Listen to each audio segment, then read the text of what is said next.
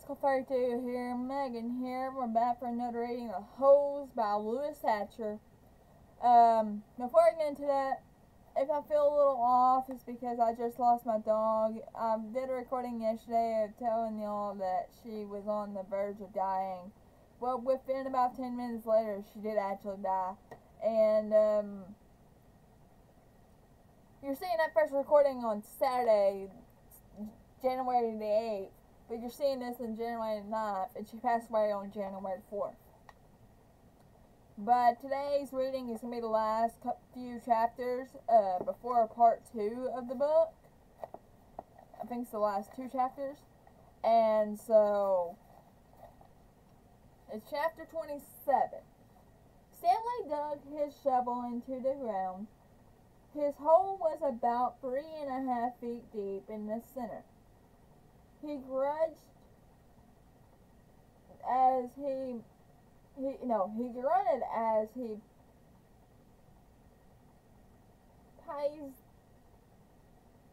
pried pried pried up some dirt, then flung it over the to the side.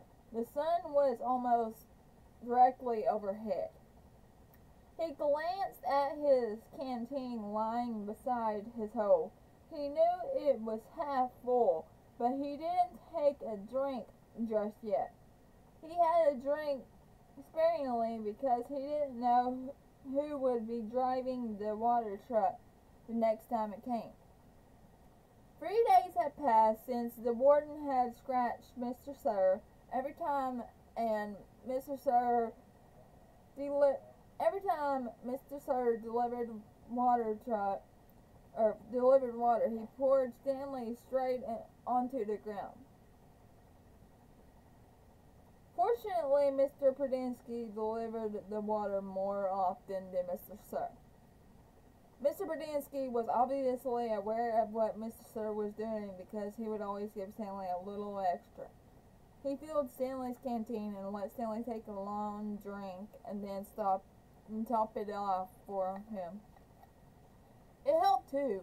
The Zero was digging some of Stanley's hole for him. Although, as Stanley had expected, the other boys didn't like to see Stanley sitting around while they were working. They'd say things like, "Who did? Who died, and made you king?" Or, "Must it must be nice to have your own personal slave. When he tried pointing out that he was the one who took the blame for the sunflower seeds, the other boy said it was his fault because he was the one who spilled them. I risked my life for those seeds, Magnet had said, and all I got was one lousy handful. Stanley had also tried to explain that he needed to save his energy so he could so he could teach Zero how to read. But the other boys just mocked him. Same old story, ain't ain't it, Armpit? X-Ray had said. The white boy sits around while the black boy does all the work. Ain't that right, caveman? No, that's not right, Stanley replied. No, it ain't, X-Ray agreed. It ain't right at all. Stanley dug out another shovelful of dirt. He knew X-Ray wouldn't have been talking like that if he was the one teaching Zero Three. Then X-Ray would be talking about how important it was, it was that he got his rest, right? So he could be a better teacher, right? And that was true. He did need to save his energy so he could be a better teacher, although Zero was a quick learner. Sometimes, in fact, Stanley hoped the warden was watching them with her secret cameras and microphones, so he knew that Zero wasn't as so she know so that she would know that Zero wasn't as stupid as everyone thought. From across the lake, he could see the approaching dust cloud. He He took a drink from his canteen and then waited to see who was driving the truck. The swelling on Mr. Sir's face had gone down, but it was still a little puffy. There had been three scratches, scratch marks down his cheek. Two of the marks had faded, but the middle scratch must have been the deepest because it still remained.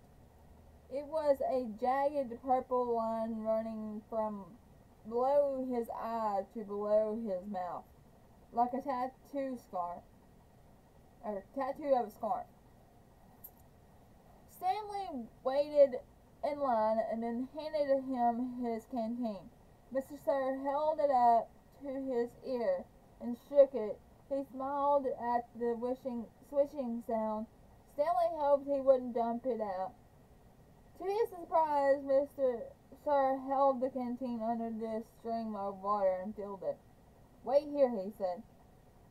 Still holding Stanley's canteen, Mr. Sir walked past him and then went around the side of the truck and into the cab where he couldn't be seen. What's he doing in there? asked Zero. I wish I knew, said Stanley. A short while, a short while later, Mr. Sir came out of the truck and handed Stanley his canteen. It was still full. Thank you, Mr. Sir. Sir smiled at him. What are you waiting for? he asked. Drink up. He popped some sunflower seeds into his mouth, chewed, and spit out the, the seeds. Stanley was afraid to drink it. He hated to think what kind of vile substance Mr. Sir might have put in it. He brought the canteen back to his hold for a long time. He lived, left it beside his hole and he continued to dig. Then, when he was so thirsty that he couldn't hardly stand it anymore, he unscrewed the cap turned the canteen over, and poured it all out onto the dirt. He was afraid that if he'd waited another second, he might have taken a drink. After Stanley taught Zero the final six letters of the alphabet, he taught him to write his name. Capital Z E R O. Zero wrote the letters as Stanley said them. Zero, he said, looking at his piece of paper. He, his smile was too big for his face. Stanley watched him write it all over, or write it over and over again. Zero, zero, zero, zero, zero, zero, zero. In a way, it made him sad. He couldn't help but think that a hundred times zero was still nothing. You know, that's not my real name, Zero said as they headed to the rec room for dinner. Well, yeah, Stanley said. I guess I knew that. He had never really been sure. Everyone's always called me Zero, even before I came here. Oh, okay. My real name is Hector. Hector, Stanley, Stanley replied. Hector Zeroni. Chapter 28 After 20 years, Kate Barlow returned to Green Lake. It was a place where nobody would ever find her, a ghost town on a ghost lake. The peach trees had all died, but there were a couple of small oak trees still growing by an old abandoned cabin. The cabin used to be on the eastern shore of the lake. Now the edge of the lake was over five miles away, and it was little more than a small pound full of dirty water. She lived in the cabin. Sometimes she could hear Sam's voice coaching across the emptiness. emptiness. Onions! sweet, fresh onions. She knew she was crazy. She knew she'd been crazy for three, for the last 20 years. Oh, Sam, she would say, speaking into the vast empty, emptiness. I know it is hot, but I feel so very cold. My hands are cold, my feet are cold, my face is cold, my heart is cold. And sometimes she would hear him say, I can fix that.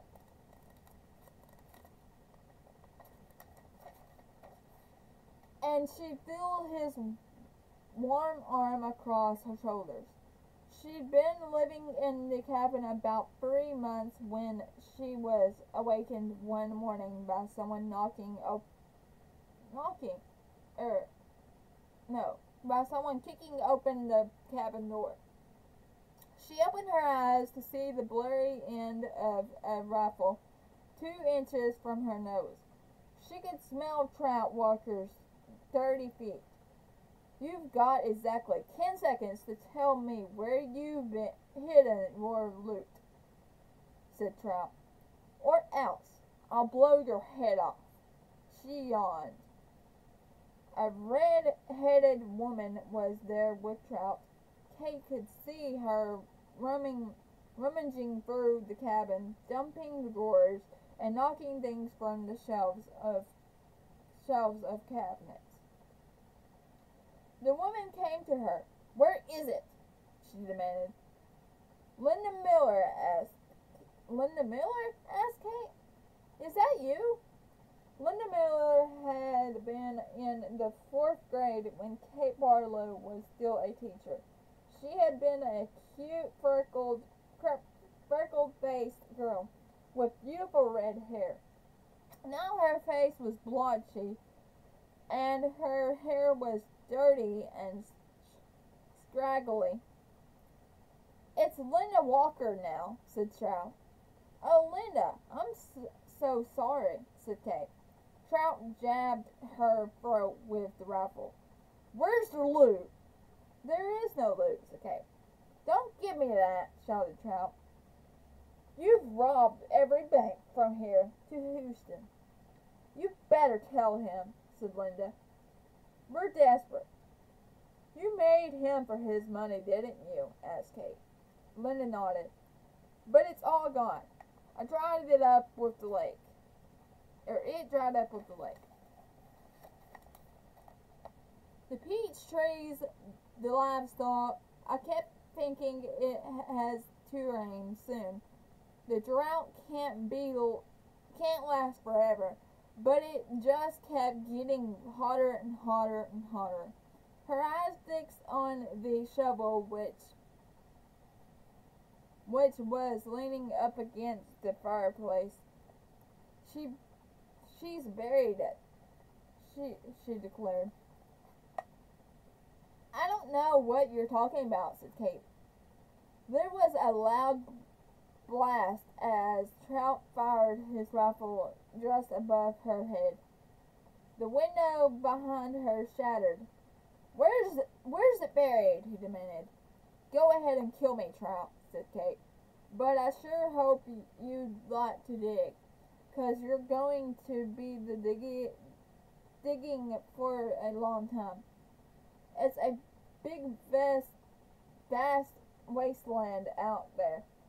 You and your children and their children can dig for the next hundred years and you'll never find it. Linda grabbed Kate's hair and jerked her head back. Oh, we're going to kill you, she said.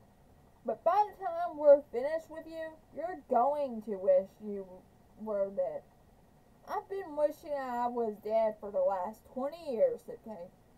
They dragged her out of bed and punished er, and pushed her outside.